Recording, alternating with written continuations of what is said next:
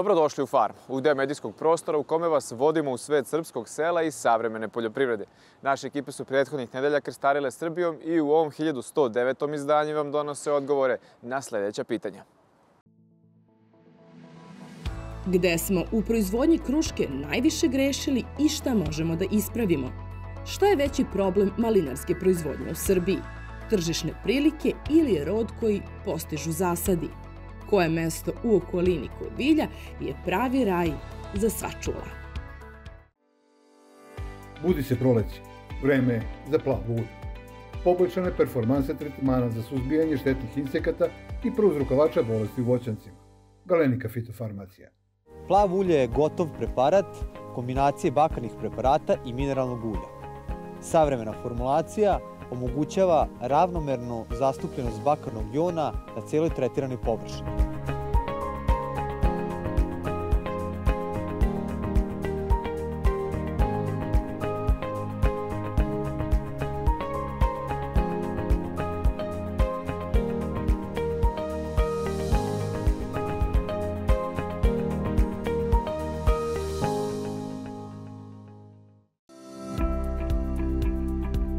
Ministarka poljoprivrede Jelena Tanasković je najavila da će poljoprivredni proizvođači od ove godine moći da nose mleko na analizu u referentnu državnu nacionalnu laboratoriju u Batajnici. Objasnila je da Direkcija za nacionalne referentne laboratorije do sada nije mogla da bude otvorena ka tržištu jer nije mogla da izda fiskalni račun. Ti propisi se upravo menjaju, te će uskoro svi proizvođači mleka koji sumnje u rezultate laboratorija otkupljivača moći da ih provere u nezavisnoj državnoj ustanovi. Tanaskovićeva je najavila da će u martu biti objavljen novi javni poziv u okviru projekta koji se realizuje u saradnji sa Svetskom bankom za pravna lica, preduzetnike i zadruge koji se bave otkupom, preradom, skladištenjem i plasmanom poljoprivrednih proizvoda. Biće obezbeđeno 12 miliona evra, a reč je o trećem pozivu u okviru projekta Konkurentne poljoprivrede Srbije koji realizuje Ministarstvo poljoprivrede u saradnji sa Svetskom bankom. Takođe, tokom ovog meseca, tačnije do 24. marta, biće isplaćena sva preostala dugovanja prema poljoprivrednicima iz prošle godine. Tako su 3. marta isplaćene 4,2 milijarde dinara za kvalitetna priplodna grla, 6. marta podsticaj za krave za uzgoj teladi za tov, a dva dana kasnije su i voćari koji su podizali nove zasade dobili preostale subvencije.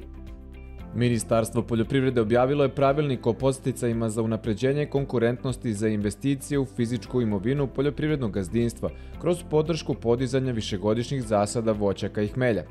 Pravo na posticaje ostvaruje se za jedan ili više podignutih proizvodnih zasada, a površina svakog proizvodnog zasada treba da bude u rasponu od 0,1 hektara do 2 hektara za svaku vrstu jagodastih voćaka i hmelja, a za šumsku jagodu od 0,05 hektara do 2 hektara i od 0,2 hektara do 5 hektara za svaku vrstu jabučastih, koštičavih, jezgrastih i ostalih drvenastih voćaka.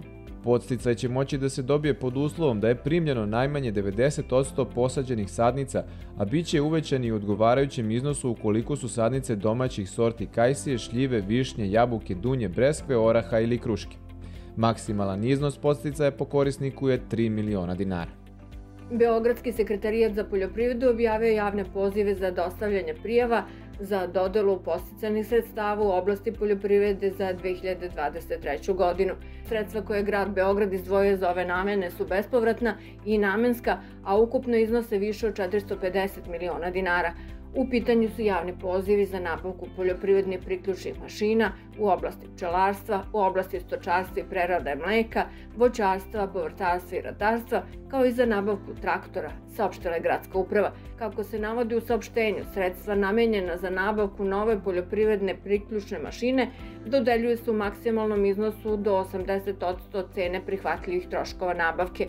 Za nabavku traktora grad je izdvojio bespovratna finansijska sredstva u iznosu od 150 miliona dinara, dok maksimalni iznos posticajnih sredstava ne može biti veći od milion dinara po korisniku.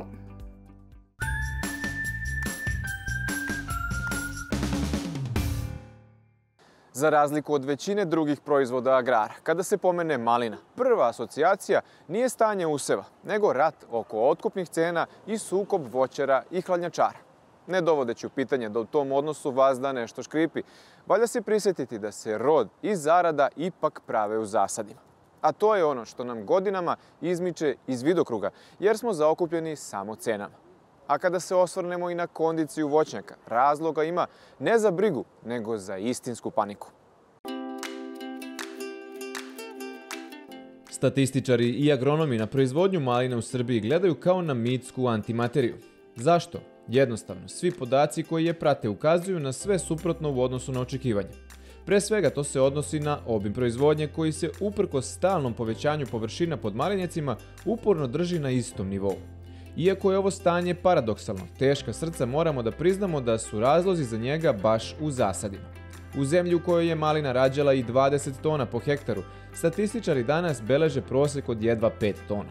Zemlja ista, klimatski uslovi tek donekle promenjeni, sorte iste, proizvođači takođe, a u gajbicama tek četvrtina ranijeg roda. Kad bi se baš pravili naivni, svi bismo se zapitali kako je to moguće. Nažalost, odgovor znamo svi, ali gotovo ništa decenijama ne preduzima.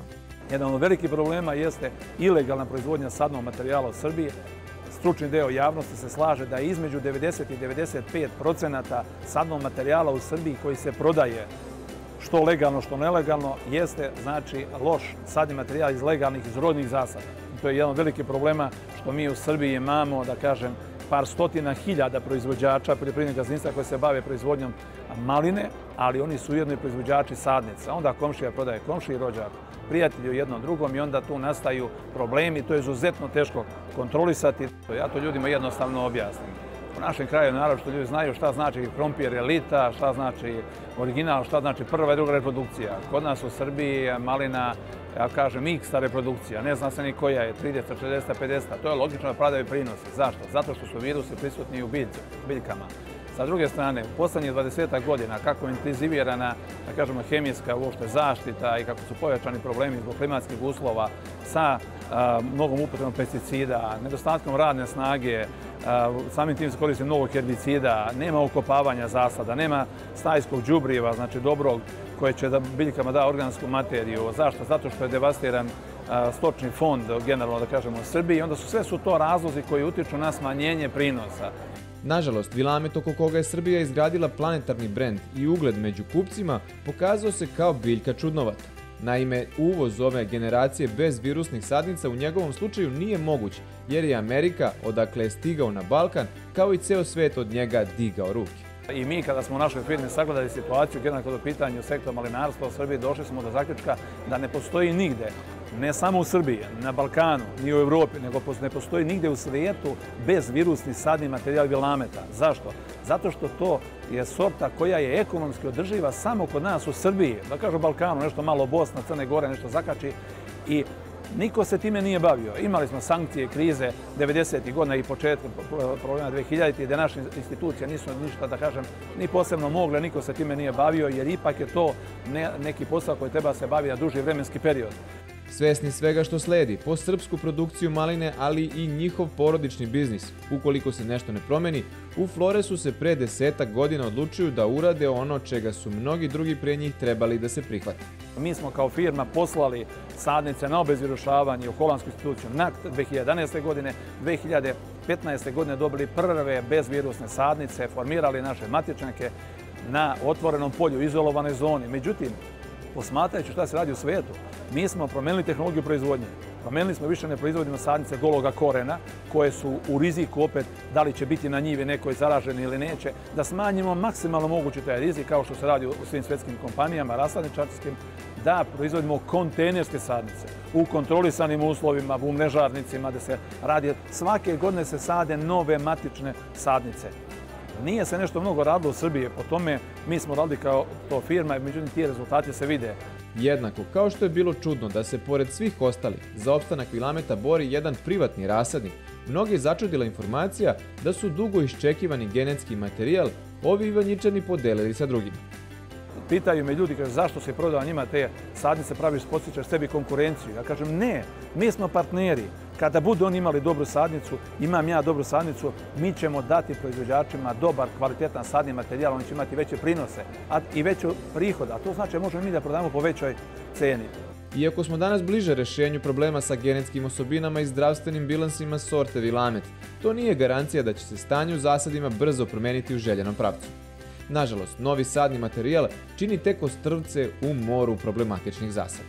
Čovek je kupio od nas 10 ari zasada maline i on ima svojih 10 ari. Sa jedne strane je zasad koji je zapušten, sa druge strane zasad koji se radi, ali se ne radi ništa nešto posebno.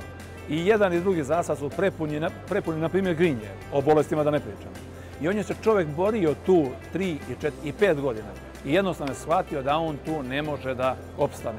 Šta je bilo rešenje? Da nađe drugu parcelu koja je nešto izolovanija od drugih zasada. Šta to znači? Kada ide cena dole, a to možemo očekivati u ovoj 2023. godini, veliki broj proizvođača će svoje zasade zapusti, a zapusta ih oni koji i onako nisu bili profesionalni proizvođači, već su bili takozvani part-time, povremeni, malo dođu, urade nešto pa zarade neki dinar. Znači, to je jedan od naših problema. Ti zasadi se ne kontrolišu, da ga makar, kako kažu naši stari, iskrče, to bi bilo dobro, da ga unište, to bi bilo dobro, međutim, oni prepuste tome. Ja sam dao savet tom proizvođaču, ako prska njihov red do tebe, a on kaže jesam Zorane i on mi pretio da će me tuži zato što prskam njegove maline. Baš ti zapušteni zasadi danas su najveći balvan na putu koji može da oporavi srpsko malinarstvo. A njih nije malo. Zapravo baš ih je onoliko koliko je onih koji su u malini videli laki profit. Možda danas nestvarno zvuči, ali baš ta profitna atraktivnost maline stvorila je mnoge današnje probleme, delujući na preduzetnike kao lampa na leptive. Mnogi su prethodnih godina kapitale iz nekih drugih sfera poslovanja selili u malinarstvo, ali su brzo shvatili da u poljoprivredi vladaju neke druge zakonitosti i da papir, olovka i poznavanje računa nisu dovoljni za uspeh. Nažalost, atraktivnost maline obila se o glavu mnogima, a kolateralna šteta su bili oni koji od nje decenijama dobro žive. Svako pokušava, ljudi jednostavno dođu, primjer radi kod nas i kažu, a da, video sam, ne znam, imam hektar na hektar maline, mogu zaradim 50.000 eura, ja ću sadim malinu. To je posao kojem se ne pristupa na takav način. Međutim, naši stari domaćini, oni tradicionalni pravi proizvođači znaju šta je prava proizvodnja. Ne podižu mnogo velike površine. Znači, ima jedna porodica, ima 20, 30, 40 stari. Zašto? Zato što oni sami mogu toliko da oberu. Znači, sama porodica to obere i sam novac ostane u kući. Malo se plati nešto za džubrio, malo se plati za sredstva za zaštitu, prevoz, gorivo i sve to, znači imamo minimalne troškove. Međutim, imaju i proizvođači koji imaju hektare po 2, 3, 4, 5 ili 10 hektara. Međutim, to ne može svak da radi. Uzimajući sve ovo u obzir, Zoran Radovanović ipak veruje u renesansu srpskog malinarstva. Naravno, za to je pored neizostavne podrške države, smatra on potrebna i promjena svesti proizvođača. Ljudi koji poslovične uzroke za sve svoje probleme vide u nekom drugom. Ako se desi neki problem kod nekog proizvođača, ne proizvođača sadnica, već proizvođača na njivi, 99% slučajeva proizvođači okrivljuju rasadničare da je problem u sadnom materijalu. Međutim, verujte iz naše dugogodišnjeg iskustva, u 99% slučajeva problem je kod proizvođača na njivi. Znači, nije uradio analizu zemljišta, posadio je u smonicu ili neku ilovaču zemlju tvrdu koja nije uslovna za, za gajanje maline, nije je oplevio na vreme, nije pokidao zapetke, nije preprskao na vreme, nije vezao na vreme. Gomila tih razloga ima koje proizvođači to ne urade. Mi kao naša firma pomažemo proizvođačima da dođu do pravog rešenja. Šta to znači? Prvo da izaberu dobru parcelu koja je uslovna za gajanje maline.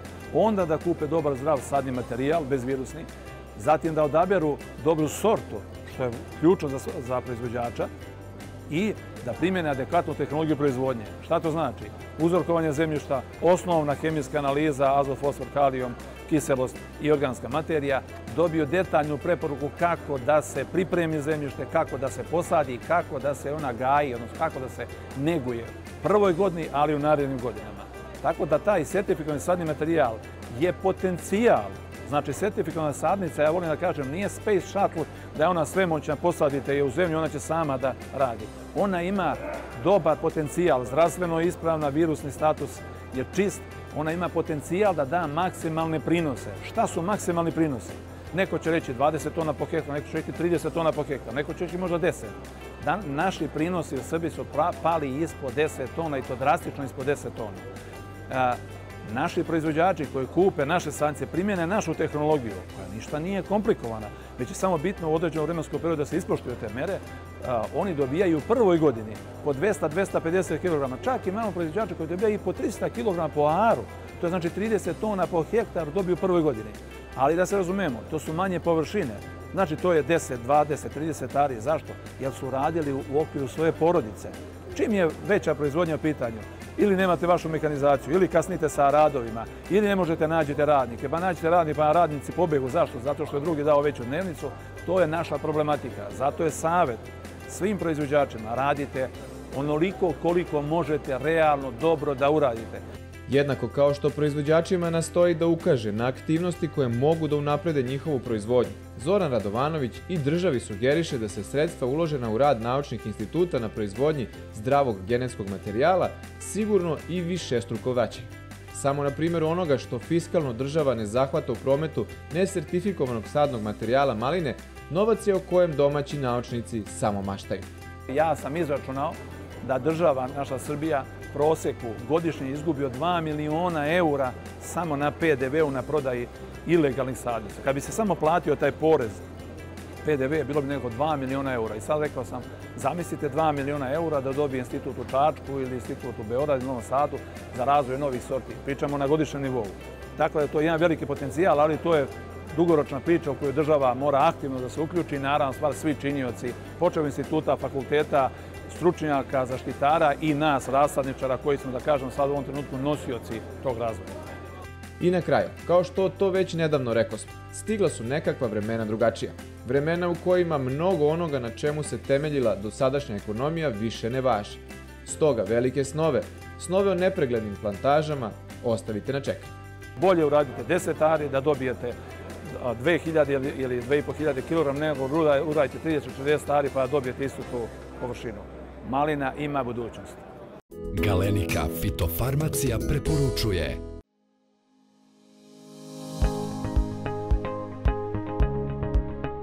U narednom periodu, kada se ostvare optimalni uslovi, očekujemo početak prvog tretmana u usevu pšenice. Obilaskom terena utvrđeno je prisustvo najznačajnijih biljnih bolesti, lisne rđe, septorije i pepelnica. Intenzitet napada pomenutih patogena ove sezone dosta je visok i prisutno je više patogena istovremeno. Prvo tretiranje potrebno je obaviti kada se pšenica nalazi u fazi intenzivnog porasta.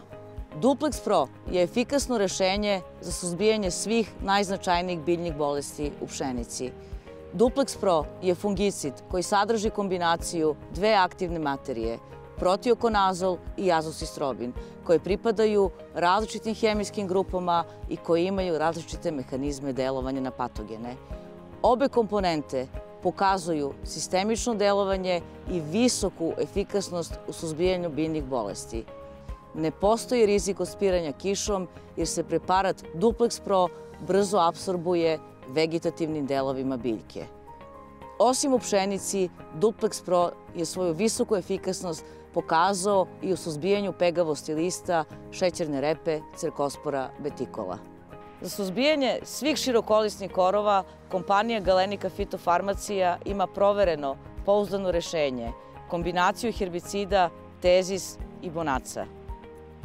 Insekticidni tretman takođe treba obaviti pravovremeno jer i štetni insekti mogu značajno uticati na smanjenje prinosa.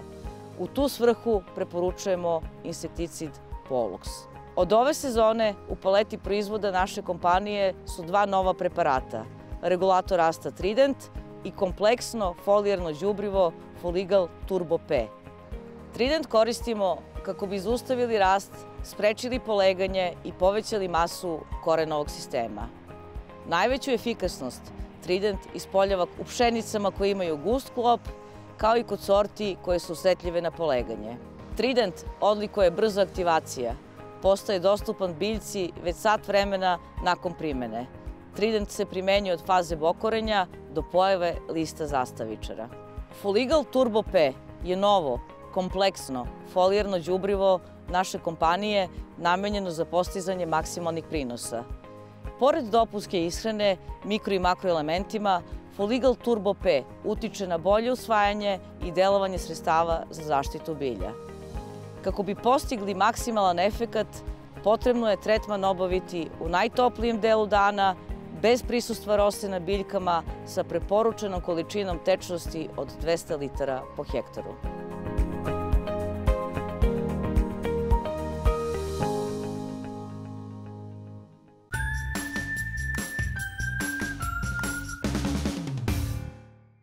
O proizvodnji kruške poslednjih godina sve se intenzivnije govori. Neki se sećaju boljih vremena, uspešnijih proizvodnih godina, a drugi se pitaju zašto sada ne beležimo takve rezultate kojih se stariji voćari sećaju. Odgovor na to pitanje i mi smo nedavno potražili od profesora Dragana Radivojevića sa Poljoprivrednog fakulteta u Zemunu. Nedavno je naša novinarska ekipa bila u prilici da sa jednim od vodećih stručnjaka u voćarstvu porazgovara o proizvodnji kruške, koja je nekada bila dika domaće poljoprivrede. Nažalost, o njoj se poslednjih decenije govori samo kao o nesigurnom biznisu koji zadaje brojnim voćarima ozbiljne glavobolje. Zato je putovanje našeg sagovornika u Južnu Afriku na 14. međunarodni simpozijum o proizvodnji kruške bilo pravo osveženje za struku, a bit će, nadamo se, i za proizvođače. Mislim da je blago reći da sam impresioniran onim što sam video zato što su oni svetski lideri u proizvodnji kruške, kako to tamo izgleda, kako je to organizovano, kako funkcioniše, to je dovedeno do perfekcije. A, zašto to kaže? Zato što kada uporedim tu njihovu proizvodnju sa našom proizvodnjom, njihov prosječni prinos je četiri puta veći po istoj površini nego što je to u Srbiji. Da li su klimatski uslovi mnogo bolji nego što je to kod nas? Nije. Imamo mi nekih propusta u tehnologiji gajanja koji dovode do toga da su naši prinosi značajno manji i oni su čak i ispod nekog svetskog proseka danas onda je pravo vreme da upitamo gde smo mi grešili pa toliko zaostajemo za svetskom proizvodnjom. Mora tu mnogo da se promeni, bilo je tu jako velikih problema. Ja bih hteo da napomenem da smo mi nekada imali državne kombinate i državne zadruge koji su imali vrlo ozbiljnu i respektabilnu proizvodnju kruške u evropskom nivou i onda posle su se desile, desili su se ratovi, desila se ekonomska kriza, onda je nastao jedan haos, mi smo se u toj tehnologiji proizvodnji izgubili, prihvatali smo savete od nekih, mogu reći, nedobronamernih konsultanata koji su dolazili do inostranstva, koji su uglavnom imali za cilj da prodaju svoj sadni materijal, onda su nam prodavali sadnice koje su bile neodgovarajuće za naše uslove na podlozi koja u našim uslovima ne može da funkcioniše. E, ugušćivali su proizvodnju sa sadnjom velikog broja biljaka po jedinici površine sa ciljem da prodaju što veći broj sadnica, a rezultat je nikakav. Dobar deo tih zasada je danas i nestao, prinosi se nisu mnogo podigli, tako da mi moramo uložiti mnogo veliki napor da se vratimo bar na nivo koji smo imali pre 30-40 godina. Da li bi deo krivice trebalo pripisati i nedovoljnoj saradnji između domaćih naučnih institucija i proizvođača. Ta vrsta saradnje koja postoji tamo između proizvođača, farmera i njihovih naučnih instituta i fakulteta je na jednom drugačijem nivou, jer projekte na kojima rade naučni instituti i, i fakulteti su diktirani faktički od proizvođača. Oni imaju određen problem, oni izlože taj problem, napravi se projekat, fakultet je dužan da taj problem reši, da im da trajno rešenje kako se u budućnosti to ne bi ponavljalo. I ono baš što smo videli, to je taj jedan vrlo visok nivo saradnje koji je postojao između Univerziteta Stellenbosch i njihovih farmera. Videli smo tu jednu vrstu poverenja koju su farmeri ukazivali svim profesorima koji su tamo ovaj simpozijum i organizovali. Kada je u pitanju sam proizvodni proces, mnogi smatraju da su upravo tu načinjeni najveći propusti. Jesu li u pravu? Ono što sam ja primetio jeste da u principu naši voćari sve znaju, ali mi proizvodnja loša. Drugim rečima, malo sam se našalio, nivo znanja nije, nije na zadovoljavajućem nivou i moraju mnogo toga da promene u svojoj tehnologiji, pre svega u sistemu formiranja oblika krune, rastojanju sadnje, podloga koje biraju za krušku, kasnije rezidbe i berbe i manipulacije nakon, nakon uh, berbe kruške. U principu vam je čitava proizvodnja kao jedan lanac i dovoljno da vam je pukne samo jedna karika i sve vam propada. Znači, vi ste sigurni u jednoj vašoj proizvodnji da ste uspeli tek onog trenutka kada vaš proizvod ne da dođe na police nekog lanca, nego kad dođe do krajnjeg korisnika, odnosno do konzumenta bilo gde da napravite grešku, on, ona može da vam faktički proizvodnju uništi i da profit izgubite koji treba da ostvarite u toj proizvodnji. Prema rečima našeg sagovornika, upravo jedna od zadnjih karika tog lanca je posebno problematična, a malo joj se pridaje pažnje. Vi sad možete videti u većini naših, recimo, marketa gde imate krušku koja je uvezena iz Nemačke, Belgije ili Holandije. U prethodnim godinama je to kruška ovaj, bila iz Italije, međutim i oni ovaj, imaju jako loš rezultat ove godine zbog e, mraza prolećnog koji su imali, tako da nam je ovo dominantno e, dominantan izvor odakle se snabdevamo plodovima. I šta je interesantno? Interesantno je da mi sa našom kruškom naše markete snabdevamo negde do početka decembra ili eventualno do kraja decembra meseca. U svim ostalim mesecima mi više naše kruške nemamo. I to je jednostavno onaj drugi problem koji se nadovezuje na samu proizvodnju, a to je što ni skladištenje, čuvanje ni u dovoljnoj meri razvijeno da bi mi mogli našim potrošačima u duže vremenskom periodu da ponudimo kvalitetnu krušku koju mi bez ikakvih problema možemo ovde da proizvedemo. To uopšte nije sporno jer klima je pogodna za proizvodnju kruške i mi to možemo da uradimo, ali kažem uz veliki, veliki napor kako samih proizvođača, tako i naučnih instituta koji u tome treba da im pomognu. Očigledno je da je pred domaćim stručnicima i proizvođačima puno posla. Nadamo se da će znanje i dobra praksa zemalja koje u ovoj proizvodnji postižu dobre rezultate biti implementirani i kod nas i da ćemo se za koju deceniju vratiti na stare staze koje svi odlično pamte.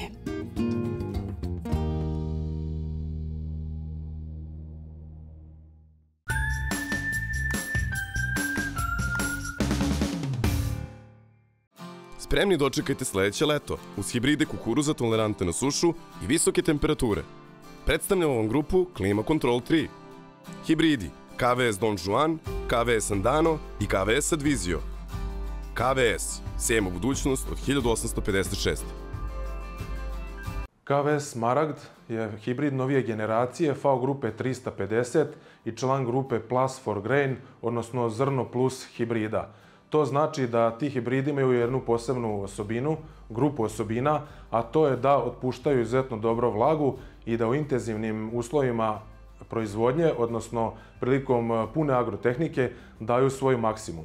Što se tiče habitusa biljke, hibrid spada u više hibride, a položaj klipa na biljci je otprilike negde na sredini, što mu daje pogodnost prilikom kombajniranja u zrnu.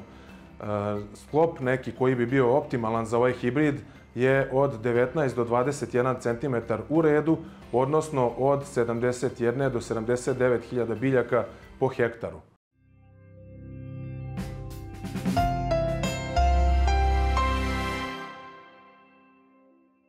Tekton Efikasno suzbija zemljišne štetočine u ratarstvu i povrtarstvu. Jedinstvena formulacija, produženo delovanje, Tekton, Galenika Fitofarmacija.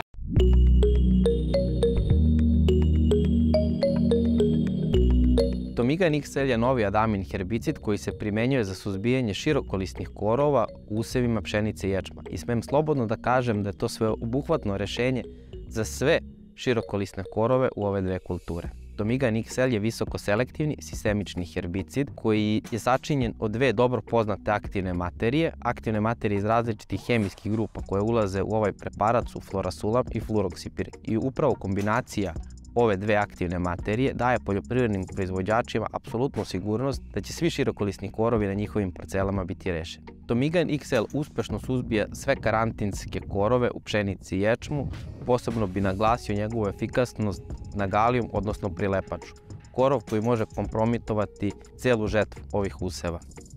Pored galijuma, Tomigan XL odlično suzbija razne poponce, vijušce, bulke, mišjakinju, samonikli suncokret, ambroziju, štir, kao i mnoge druge korove u pšenici i ječmu. Tomigan XL možemo primeniti od trećeg formiranog lista pa sve do pojave lista zastavičara. U roku od dva dana korovi u potpunosti klonu, a preparat je pritom visoko selektivan po naš gajeni usev. Tomigan XL je rešenje za rezistentne korove na ALS inhibitore koji predstavljaju sve veći i veći problem. Svi znamo koliki nam problem pravi ambrozija i štir, primjer usevu soje. I jako važna stvar kod Tomigana XL je ta da on ne ograničava plodored. Odnosno, ako na vašim parcelama primenite Tomigan XL, s jeseni ćete slobodno smeti da na tim istim parcelama sejete, na primjer, uljanu repicu. Doza primene Tomigana XL je 0,8 do 1,5 litara po hektaru, odlično se meša sa svim fungicidima. Tomigan XL je jednostavno rešenje za vaše najveće probleme sa širokolisnim korovima u strnim žitima. Jer zemlja ne može sama, Adama. Najviše prinosi na vašim najboljim poljima. Hibridi kukuruza nove generacije visokog potencijala prinosa. Predstavljamo grupu hibrida Plus for Grain, KVS Maragd, KVS Kašmir, KVS Intelligence i Toscano. KVS, sejemo budućnost od 1856. Da od starta dobro krene u borbi protiv korova, posle setve, a pre nicanja kukuruza. Primenite Basar i Rezon, Galenika, Fitofarmacija. Sa zahlađenjem koje smo imali proteklih dana, na terenu Srema palo je u proseku između 20 i 50 litara padavina. Shodno tome i najavljenom otopljenju koje imamo narednih dana, na našim parcelama imat ćemo sve veću pojavu korova kao i prvih bolesti. Bolesti sa kojima se susrećemo u prvom delu vegetacije su bolesti lista i stabla, od kojih su najznačajnije pepelnica i rđa.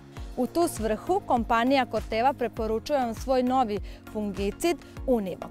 Fungicid Univok je fungicid sa novom aktivnom materijom Inatrek Inatrek Activ je aktivna materija koja dolazi sa novom patentiranom formulacijom i odlikuje se izuzetno dobrom pokrovnošću kako sa lica, tako i naličja lista, kao i dugotrajnom zaštitom do 6 nedelja. Fungicid Univok će sprečiti zarazu i e, zaustaviti dalje širenje bolesti, bit će prisutan na novoizniklim listovima. Što nas u prvom delu vegetacije, pored zaštite od bolesti, očekuje je zaštita strnih žita od korova. Kompanija Corteva za zaštitu strnih žita od korova vam preporučuje herbicid Quelex. Herbicid Quelex u svom sastavu ima dve aktivne materije protektante. Kao takav, herbicid Quelex je vrlo selektivan i e, deluje na najznačajnije širokolisne korovske vrste kao što su galijom prilepača, samonikli suncokret, ambrozija, mrtva kopriva i mnogi drugi. Herbicid Quelex je herbicid koji je e, selektivan, efikasan i nema ograničenja u plodoredu. Kompanija Corteva sa svojim preparatima fungicidom Univok i herbicidom Quelex vam omogućava zdrav i stabilan usep pšenice, što je preduslov za postizanje visokih prinosa i profita.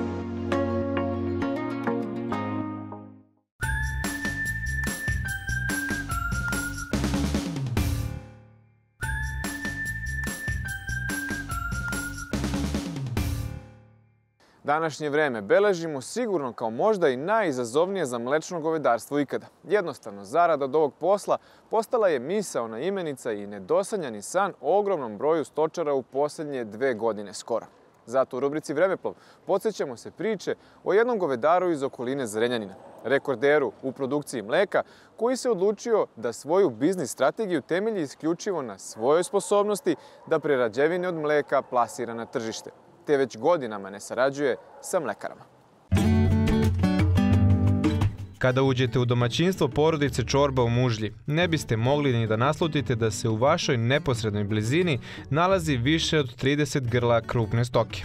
Dvorište čisto, sređeno pod konac. Zadnji deo dvorišta uopšte se ne osjeća, a tu se nalazi i silaža i stajnjak, štala uređena tip top, sveže ofarbana, gotovo svaki pedalj imanja je čist, Ambari puni kukuruza, ništa se ne prosipa, seno uredno složeno.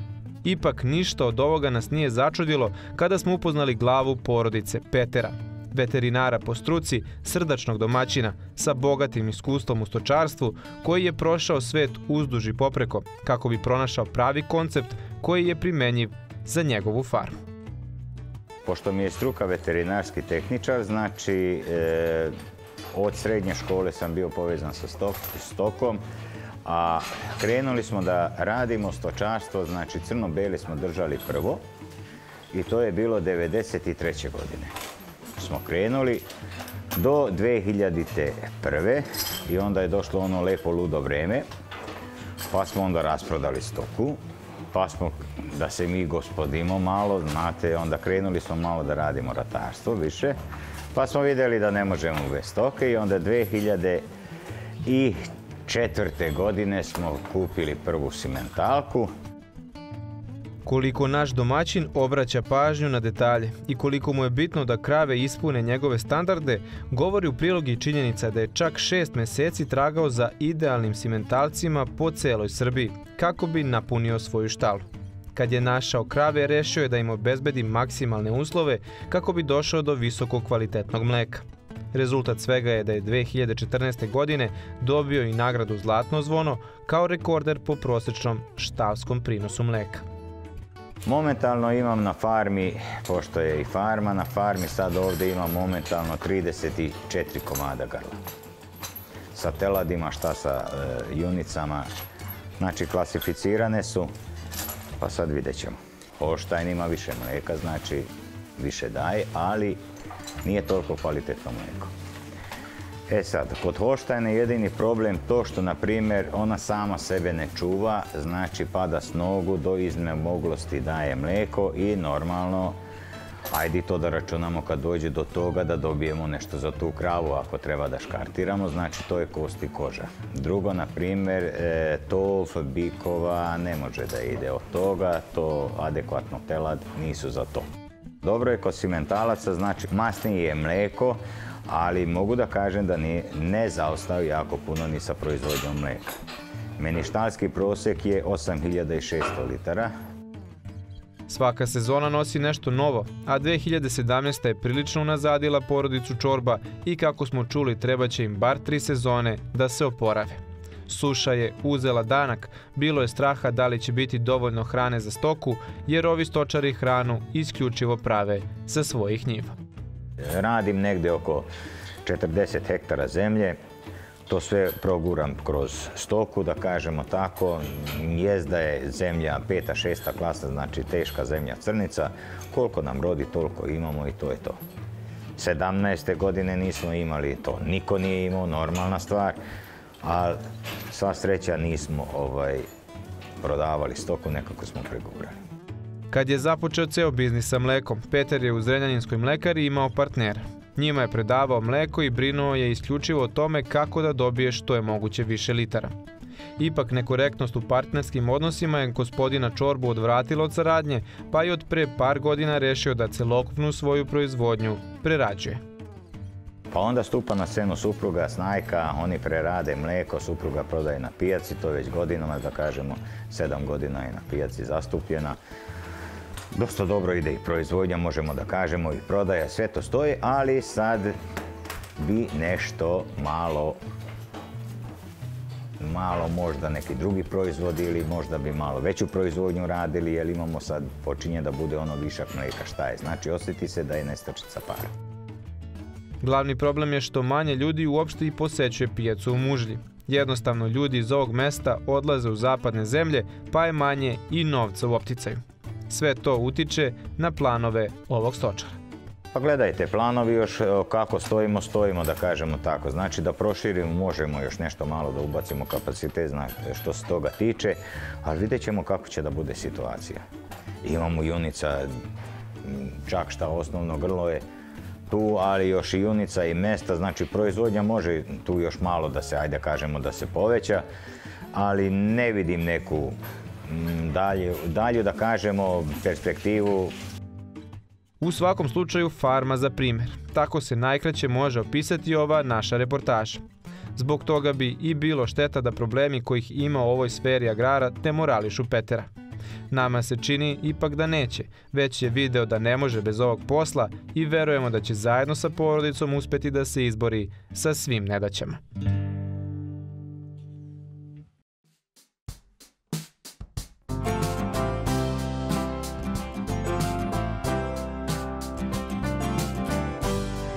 Jedna od ekonomski značajnijih štetočina jabuke jeste svakako jabukin smotavac. Problem kod ove štetočine jeste što je ona prisutna tokom cijele proizvodne sezone, dakle od samog zametanja plodova pa praktično do berbe. Dakle, kako bismo efikasno suzbili ovu štetočinu, izbegli sve one neželjene efekte, dakle pre svega ubušenje od strane gusenice, potrebno je da koristimo različite insekticide sa različitim mehanizmom delovanja. Drugi problem kod suzbijanja ove štetočine jeste to da moramo da vodimo računa o karenciji upravo u ovim fazama kada je jabuka blizu berbe. Glenika fitofarmacija u svom portfoliju posjeduje jedno moćno sredstvo, u pitanju je traper, koje u sebi sadrži aktivnu materiju spinosad. To je insekticid sa kontaktnim i digestivnim delovanjem koji deluje na nervni sistem insekata, međutim različit mehanizam delovanja od drugih konvencionalnih insekticida koji se koriste u tu svrhu. Ima kratku karencu, brzo je biorazgradiv, tako da je, ukoliko se koristi u preporučenim količinama i u preporučeno vreme, ne postoji mogućnost da se detektuje u ostacima pesticida kada se kasnije uzima plod na hemijsku analizu. Ono što je takođe bitno napomenuti jeste da ovo je insekticid koji deluje na larve, dakle klasični larvicid, tako da je njegova pozicija zapravo negde kada počne piljenje samih gusenica.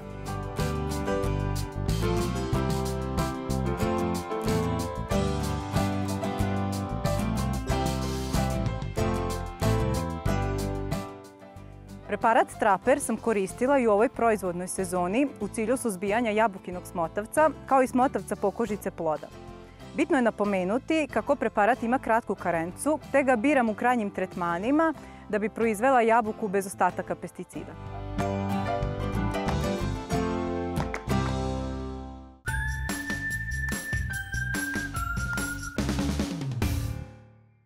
Još od postanka sveta ljudi se pitaju gde je početak i kraj ovog parčeta neba na kome smo se nastanili. Dok su važile teorije o zemlji kao ravnoj ploči, svi su se brinuli da ne stignu do te ivice sa koje se pada uništavilo. Čak i u ova moderna vremena čekali smo kraj sveta na rtnju, jer ga je majanski kalendar predvideo za početak 2000. godina. Svi su ga tražili, mnogi su bežali od njega, a mi smo ga pronašli na svega 50 km od Beograda.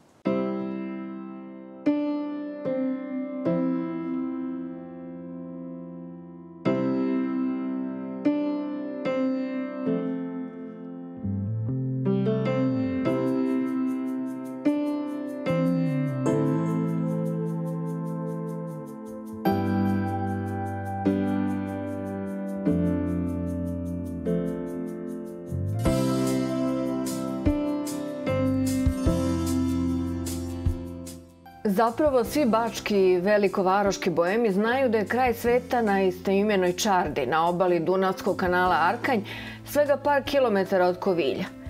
Ovde je decenijema čuveni čikapera varenika kuvao riblju čorbu, pasulj ili bilo šta drugo što se na salašu zateklo za sve one koji nisu marili truda da kroz šumu i kaljavim drumovima dođu ovde na pecanje, druženje ili da od žena pobegnu u zagrlje ljute koviljske dudovače.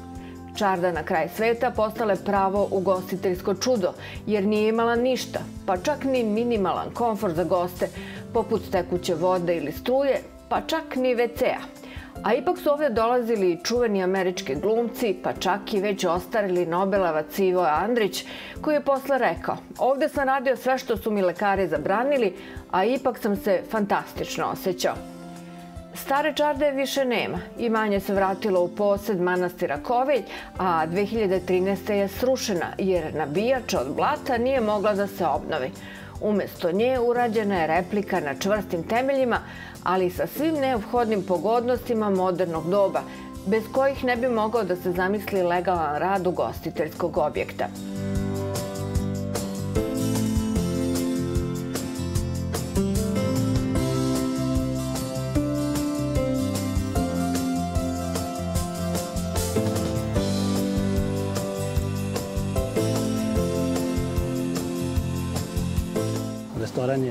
Etno restoran.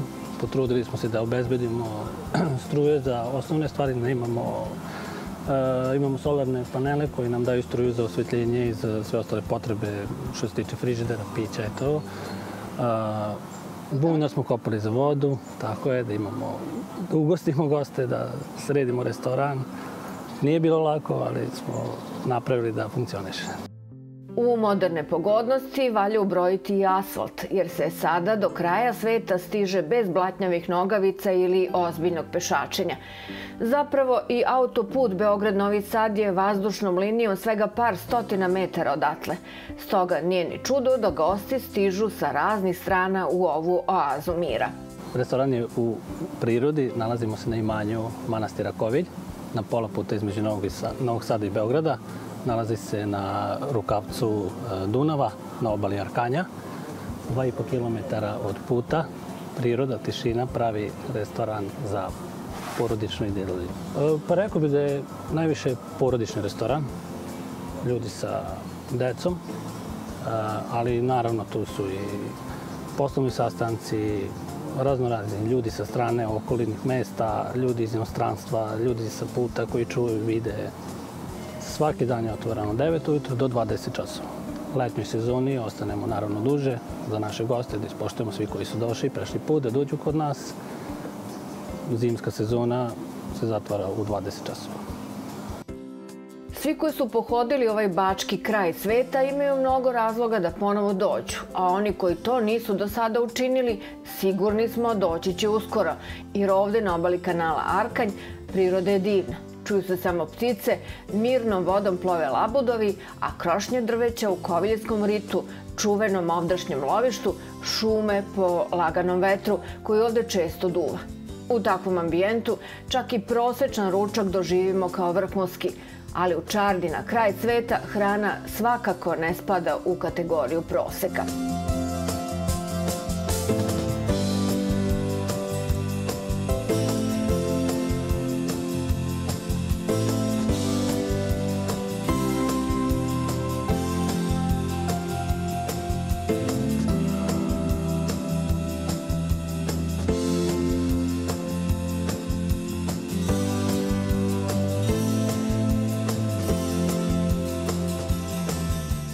Strasti, to je sveža riba, svaki dan se sprema, svaki dan se kuva čurba. Od sveže ribe imamo smuć šaran som, filete smuđe, filete soma, pored ribljih specialiteta naravno i roštilj. Naši glavni specialiteti su pljeskavica od divljače, punjena pljeskavica od divljači, zatim medaljuni, biftek, vrat, sve se sprema na čumuru, sveže svaki dan. Roštilj, priroda, vaše da sednete i uživate. I pored riblje čurbe nudimo riblji paprikaš od čistog soma, bez kosti. Neću puno pričati o njemu, to mora se proba. Gosti ga obožavaju i kuva se svaki dan i sve se proda. Tako da sledeći put preporučujemo. Posle slane ribe i dobrog roštilja uvek ide dezert uz kafu. Imamo baklavu sa višnjama i štrudla sa makom.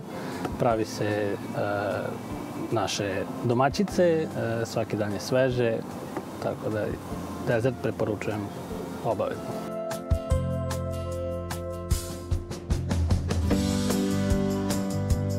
Budući da je Čarda deo imanja manastira Kovilj, samo ovde možete da probate i neke od delikatesa koji pravi manastirsko bratstvo.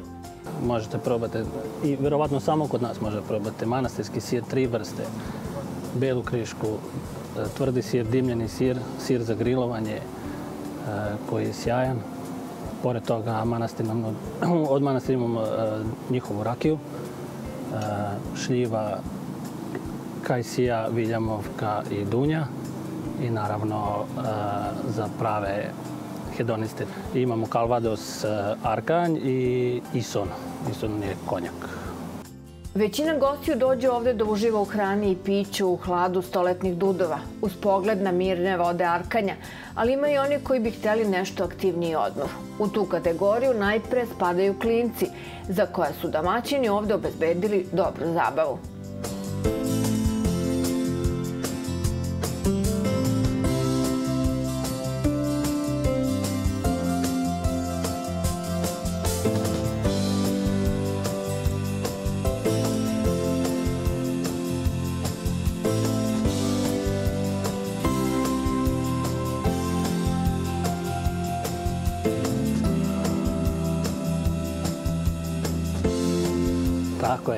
Pravi mini zoološki vrt. Tu su Lili naše magare sa, sa, sa njenim malim magare, e, mali punići, imamo dečje igralište, uz pratnju roditelja može da se ode do životinja, bezbrižno da se igra na igralištu, sve je prilagođeno. Ima zabavi za odrasle koji su vešti sa pecaroškim štapom. Za njih čarda ima čamce, a ulovi se koješta i sa obale Arkanja. Naravno, ovo je jako poznato mesto za naše pecaroše, ovaj, da li sa obale ili naših čamaca. Ovaj, hvale se jako dobrim ulovom, tako da uvek su dobrodošli. Pa ide sve, ide. Bela, pastak, ima koji šaran, tako da ide svega. Kada prođu lepi dani, bašta Čarde na kraj sveta prestaje da radi. Ali to nije kraj sezone za ovaj ugostiteljski objekat, jer ušuškani i utopljeni u dve sale, gosti se ovde i po zimi lepo provode.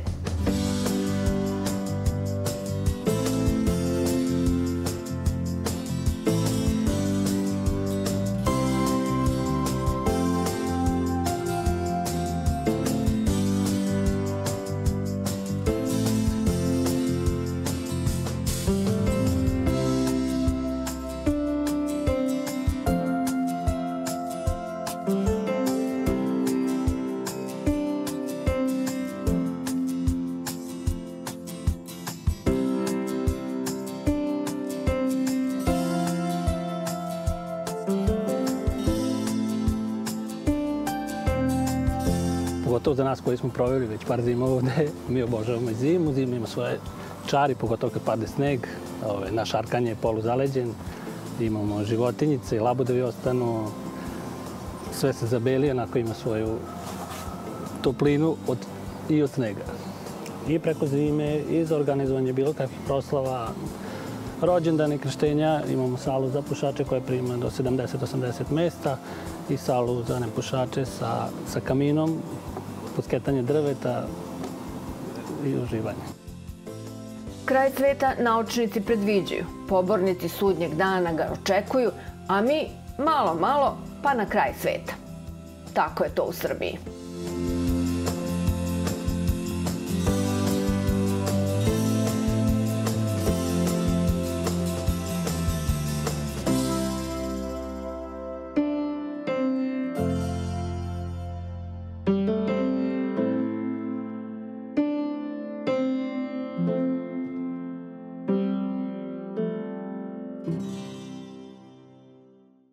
To bi bilo sve što smo vam pripremili za ovo izdanje Farme. Ukoliko ste nešto propustili ili pak želite da se podsjetite nekih reportaža, na raspolaganju su vam naš sajt, YouTube kanal, Facebook stranica i Instagram profil. Do narednog viđenja želimo vam sve najbolje.